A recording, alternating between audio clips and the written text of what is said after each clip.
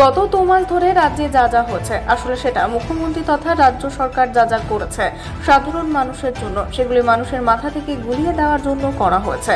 নোয়াপাড়া শহর এক নম্বর তৃণমূল কংগ্রেসের দ্বারা আয়োজিত বিজয় সম্মেলনী অনুষ্ঠানে এসে গত দু মাস ধরে চলা জুনিয়র ডাক্তারদের আন্দোলনকে এই ভাষাতেই ব্যাখ্যা করলেন ব্যারাকপুরের সাংসদ পার্থ ভৌমিক। দলীয় নির্দেশ অনুযায়ী রাজ্যের সর্বোচ্চ তৃণমূলের তরফ থেকে বিজয় সম্মেলনের অনুষ্ঠানের আয়োজন করা হচ্ছে তৃণমূলের দলীয় নেতৃত্বের পক্ষ থেকে।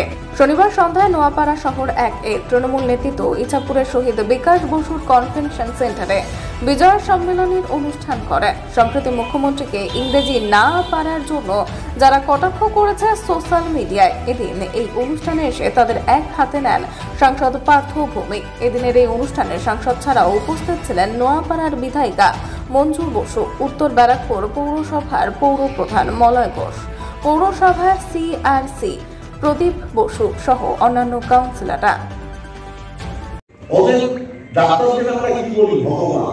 আমরা পরিবারের কেউ যখন চরম অসুস্থ হয়। আমি যখন ভগবানকে ডাকি, ভগবান দাও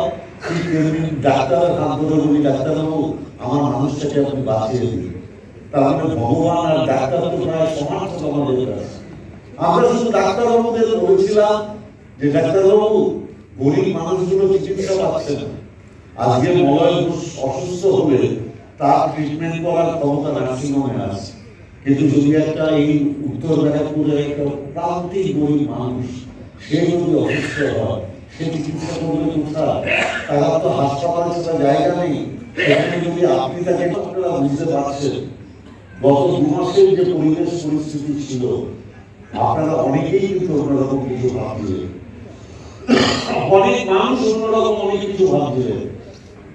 এই যে ঘুরিয়ে দেওয়ার চেষ্টা এটা কেন?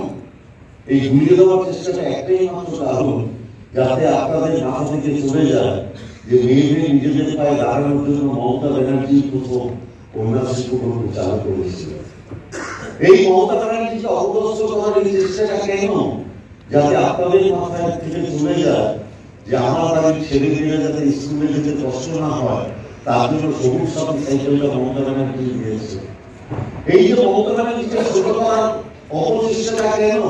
যাতে আপনাদের মাথা থেকে চলে যায় স্বাস্থ্য সাথী কার্ডের মাধ্যমে আমরা পাঁচ লক্ষ টাকা অব্দি বিনা পয়সায় চিকিৎসার সুযোগ পাচ্ছি। এই মমতা ছোটবেলার এই কেন? তার একটাই মাত্র কারণ, যাতে আপনাদের মাথা থেকে চলে যায় যে মহিলাদের ন্যূনতম পাওয়ার জন্য যে লক্ষ্মীর ভাণ্ডার, সেটা যেন মানুষের মাথা থেকে চলে যায়।